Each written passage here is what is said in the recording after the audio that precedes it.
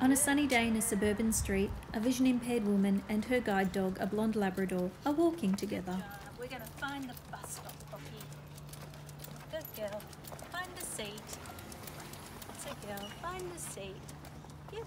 Help Mama. Find the seat. Good girl. Yeah.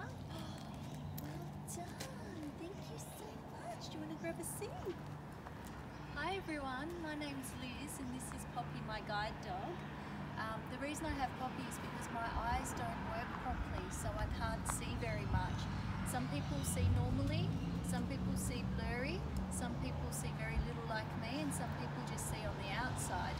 And so because my eyes don't work properly, I have Poppi who is actually a guide dog. You can recognise she's a guide dog because she has her harness on.